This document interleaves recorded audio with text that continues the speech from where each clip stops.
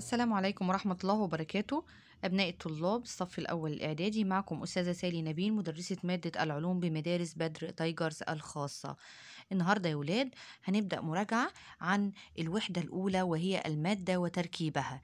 لما نيجي نتكلم يا ولاد عن الدرس الأول وهو المادة وخواصها. طيب إحنا كنا قلنا إن المادة يا ولاد هي كل إيه؟ هي كل ما له كتلة وحجم. أما خواص المادة طبعا إحنا خدنا خواص فيزيائية للمادة وخواص كيميائية. خواص المادة وهي أول حاجة خدناها يا ولاد وهي اللو- اللون والطعم والرائحة والكثافة ودرجة الحرارة ودرجة الغليان والصلابة والتوصيل الكهربي والتوصيل الحراري. واتكلمنا عن النشاط الكيميائي وهي من ضمن الخواص الكيميائية للمادة. طيب تعالوا معايا كده يا ولاد نبدأ السؤال الأول. وبيقول لك أكمل العبارات الآتية. رقم واحد وحدة قياس الحجوم هي سنتيمتر مكعب. أما وحدة قياس الكتلة أيوة تمام هي الجرام. أما وحدة قياس الكثافة وهو إيه؟ وهي الجرام على سنتيمتر مكعب. طيب ليه يا مس الكثافة هي جرام على سنتيمتر مكعب؟ هنقول لأن الكثافة تساوي إيه؟ تساوي الكتلة على إيه؟ الكتلة على الحجم. إذا الكتلة بإيه وحدتها إيه هي الجرام. أما الحجم سنتيمتر مكعب إذا الكثافة تساوي الجرام على سنتيمتر مكعب. رقم اتنين من المواد التي درجة انصهارها مرتفعة هي إيه؟ هي المعادن وملح الطعام. طبعا في مواد يا ولاد بتحتاج درجة كبيرة جدا عشان تنصهر. تنصهر يعني إيه؟ يعني تتحول من الحالة الصلبة إلى الحالة السائلة وهي إيه؟ مثل إيه؟ مثل المعادن وملح الطعام. أما من المواد التي درجة انصهارها منخفضة يعني بتتحول من مادة صلبة إلى مادة سائلة بسهولة وهي الشمع والثلج والزبد. الزبد بيسيح بسرعة بياخد وقت قليل. تمام فدرجة انصهاره منخفضة والشمع أيضا والثلج. رقم ثلاثة تستخدم سبيكة نقط في صناعة الحلي. سبيكة إيه يا ولاد اللي بتستخدم في صناعة الحلي؟ هي الذهب والنحاس. في حين تستخدم سبيكة نقط في صناعة ملفات التسخين. سبيكة تمام النيكل كروم. آه، وسبيكة نقط في صناعة أواني الطهي. سبيكة إيه؟ سبيكة الصلب الذي إيه؟ الذي لا يصدأ. طيب لما نيجي نبص على السؤال الثاني يا ولاد وهو أكتب المصطلح العلمي أول سؤال يا ولاد بيقول لك كتلة وحدة الحجوم من المادة. أنا سامعة أهو سامعاك بتجاوب أهو. تمام هو الكثافة. رقم اتنين درجة الحرارة التي تتحول عندها المادة من الحالة الصلبة إلى الحالة السائلة وهي درجة إيه؟ الانصهار. درجة الحرارة التي تتحول عندها المادة من الحالة السائلة إلى الحالة الغازية وهي درجة الغليان. طيب لما نيجي نبص على السؤال الثالث بيقول لك علل لما يأتي. رقم واحد السؤال ده خاص بالكثافة يا ولاد إحنا اتكلمنا عن الكثافة بالتفصيل. وبنقول رقم واحد تطفو قطعة من الخشب فوق سطح الماء في حين تغوص قطعة من الرصاص فيه. هنقول لأن كثافة الخشب أقل من كثافة الماء لذلك يطفو الخشب فوق سطح الماء.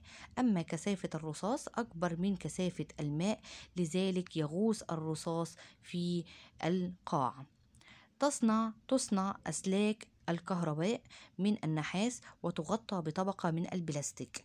وسؤال برضو بنفس النمط يصنع ملف, ملف مفك الكهرباء من الحديد بينما يصنع مقبضه من البلاستيك. هنقول يا ولاد لأن النحاس أو الحديد سواء النحاس أو الحديد من المواد إيه؟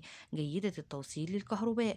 عشان كده يا ولاد أسلاك الكهرباء بتصنع من تصنع من إيه؟ من النحاس.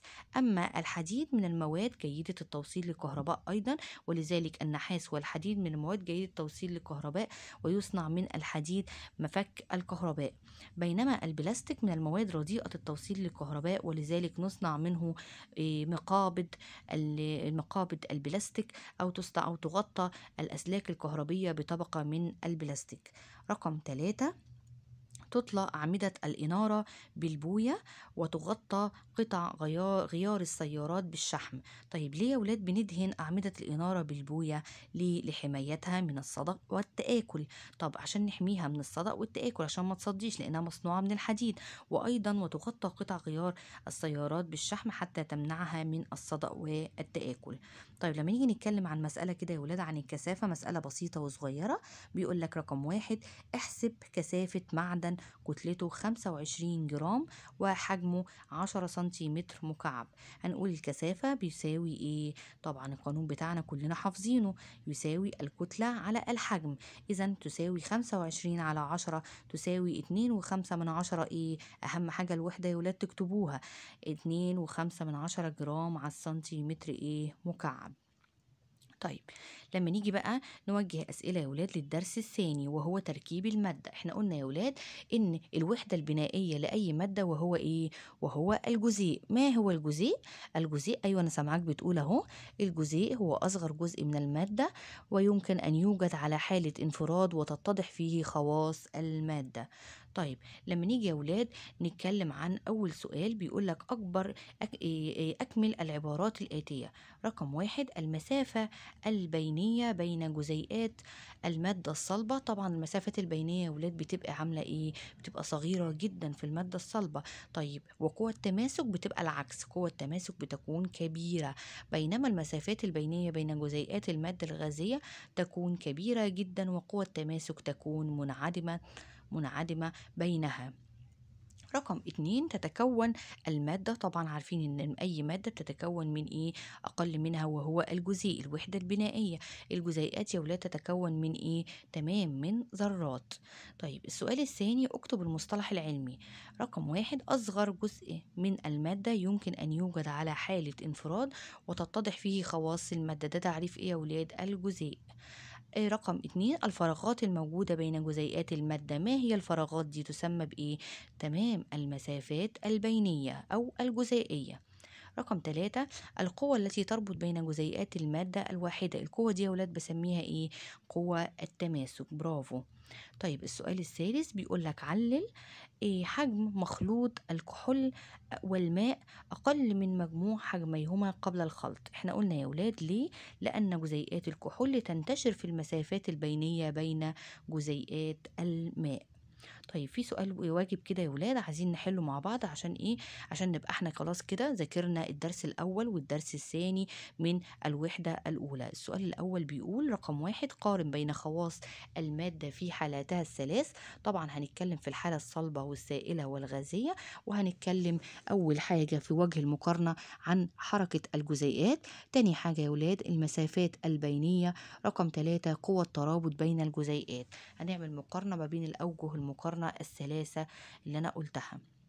رقم اتنين طبعا هنقارن ما بين العنصر والمركب من حيث التعريف. تمام. رقم ثلاثة ما المقصود بكل من الانصهار والتصعيد؟ وهنقول يا ولاد تعريف ده وتعريف ده. رقم أربعة احسب كثافة قطعة من الحديد كتلتها 78 جرام وحجمها 10 سنتيمتر. مكعب. طبعا كلنا عارفين قانون الكثافة هنحلها وما ننساش في الآخر إيه؟ تمام مش هننسى الوحدة النهائية. تمام. أتمنى أن تكونوا يا ولاد فهمتوا رجعتوا معايا على الدرس الأول والتاني ويا ريت نحل الواجب واللي عنده أي سؤال يبعت لي على الخاص إيه ويسألني. وكمان الواجب لما يتحل تبعتولي على الخاص وأنا هراجعه معاك إن شاء الله. شكرا.